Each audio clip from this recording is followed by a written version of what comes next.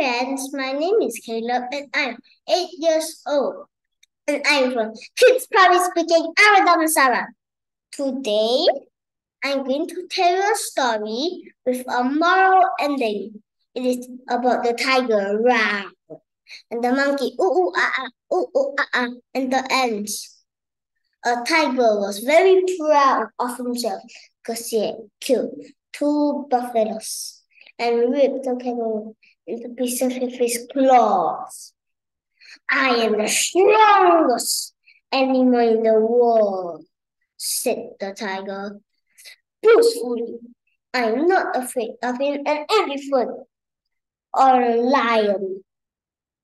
Roared proudly. Just then, a big rock fell from the rooftop and hit the tiger. It gasped his back and left an open wound. Ouch! Later, the tiger went to the river to have a drink.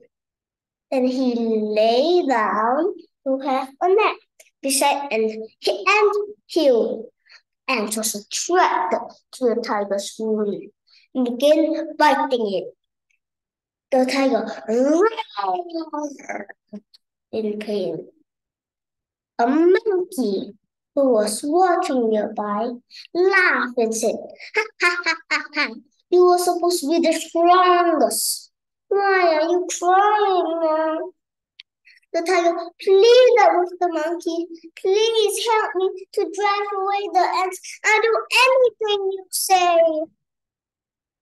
Moral of the story, never bully the weaker ones. Be humble even if you are strong.